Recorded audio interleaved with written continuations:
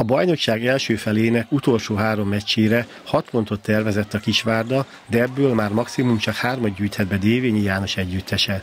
Az MTK Budapest otthonában elszenvedett vereség és a Békés Csaba elleni hazai döntetlen után Budaörsön a sor minta szerint győzelemnek kellene következnie.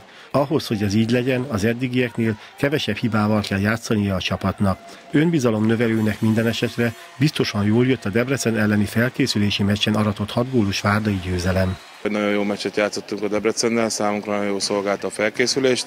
Bár mint edzőmérkőzés ugye nem szabad sokat levonni belőle, bár tulajdonképpen a Kelemen Éva kivételével a Debrecen a teljes sorával itt volt. Én azt gondolom, a védekezésünk az úgy kezd helyreállni. Tehát mind a 3-2-1, mint a, a 6.0-ás védekezésünk egész jó volt. Kapus teljesítményünk is volt a Békés ellen most is az edzőmérkőzésen, még a helyzetek kihasználásában kell javulnunk. A csapat beállója Szabó Valéria szerint a legfontosabb az lenne, hogy a bajnoki mérkőzéseken is meg tudják ismételni a felkészülési meccseken mutatott játékukat. Úgy érzem, hogy van egy ilyen meccs drukk a lányokban, hogyha sima edzőmeccset játszunk, akkor olyan szépen tudunk játszani, hogyha pedig már van egy kis tét, akkor úgy ilyen kéziféket húz be a csapat, és sajnos ez tapasztalható.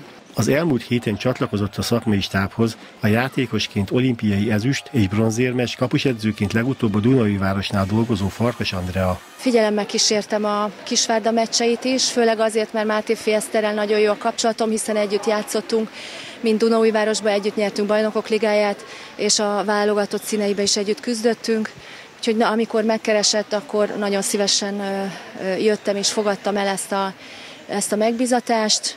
Nagyon optimista vagyok a kapusokkal kapcsolatban. Azt gondolom, hogy most egy új fejezet kezdődik, és nagyon jól dolgoznak, úgyhogy csak, csak azt tudom mondani, hogy, hogy minden jó úton halad, és, és ennek meg kell, hogy legyen az eredménye. A Budajos Kisvárda mérkőzés csütörtökön 18 órakor kezdődik. Mivel a tabellán a várdaiak előtt álló Békés már lejátszotta az őszi szezon záró meccsét, Dévényi János együttese győzelmével elmozdulnak kieső helyről.